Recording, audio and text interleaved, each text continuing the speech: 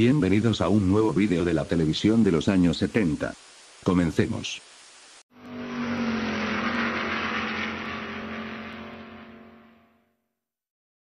¡Viva! ¡Bravo! y hurra en... Bravo Viva y Hurra es una serie animada de televisión creada por los estudios de animación Ana-Barbera en 1964 con 23 episodios.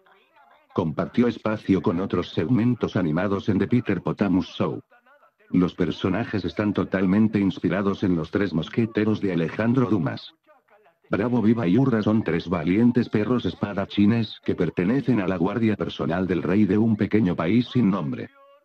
Aunque este trío pone mucho empeño en proteger al rey, lo cierto es que siempre terminan metiéndose en líos, debido a que son bastante torpes e incompetentes.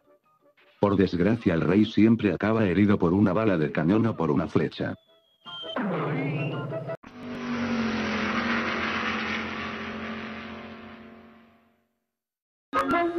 Las desventuras de Canuto.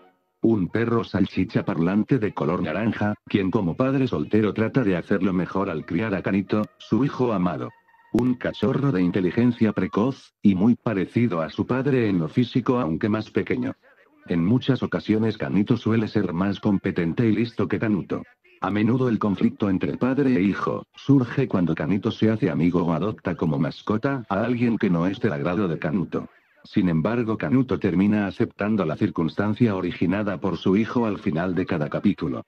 Creados por la factoría estadounidense de animación Ana-Barbera en 1959 con 45 capítulos. Tras finalizar esta etapa los derechos de emisión fueron adquiridos por la cadena CBS, que reemitió los capítulos en 1963. ¡Qué!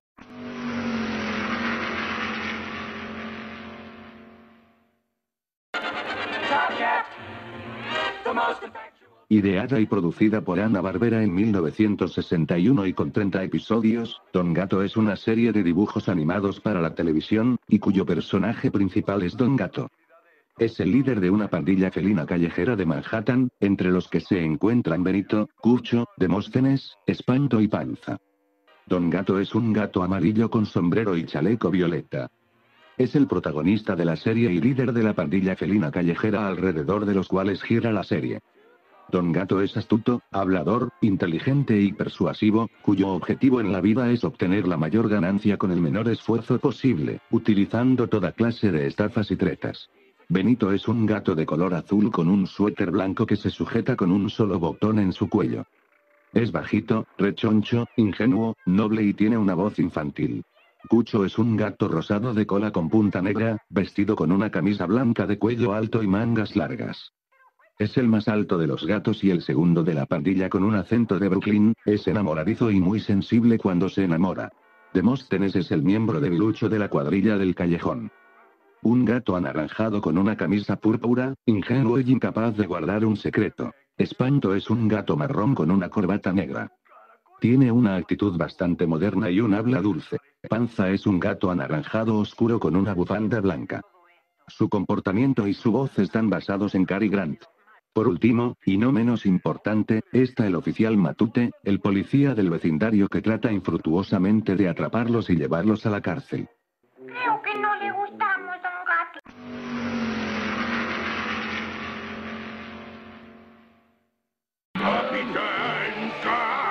El Capitán Cavernícola es un personaje de ficción de dibujos animados, producido por los estudios de animación de Hanna-Barbera. La serie presentó como personaje principal, a un ser de la era de las cavernas llamado, el Capitán Cavernícola, quien sobrevivió durante miles de años en estado de hibernación dentro de un glaciar totalmente congelado. Al descongelarse se une a un trío de unas jovencitas aventureras conocidas como Los Ángeles, Blenda, y Taxi, para resolver distintos misterios. Es una versión adolescente de Los Ángeles de Charlie. El personaje había sido presentado originalmente en la serie de Scooby-Doo en 1977. Más tarde aparecería en episodios de Los Picapiedra. La voz original del personaje principal fue suplida por Mel Blanc. Sí, yo pensar que tú tienes razón.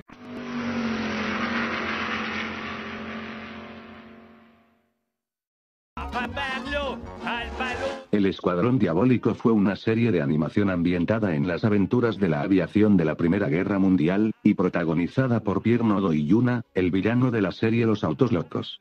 Creada por la productora estadounidense Hanna-Barbera, siendo emitida por vez primera en 1969. La serie a su vez tenía formato de show, y contenía diversas secciones como las bromas saladas y Patán el Magnífico. Pierno Doyuna es un excelente piloto de su escuadrón, y el protagonista principal de la serie. Las cruces voladoras aluden a los míticos pilotos alemanes de la Primera Guerra Mundial. Tiene por misión la de atrapar y acabar con el escurridizo palomo mensajero que entrega a los mensajes al enemigo. Patán es el perro compañero de Pierre y copiloto de su biplano. Patán es sarcástico y disfruta cuando a su jefe le ocurren desgracias, y entonces se ríe de él con sorna y regocijo. Por el contrario, reniega entre dientes de su jefe en cuanto éste le regaña. Le gusta que le den medallas y puede usar su cola como una hélice para volar. También está Tontín, un absoluto inepto y cobarde, y Tontón, un aviador al que no se le entiende nada de lo que dice, y que por ello crea más de un error. El único que le entiende es Tontín.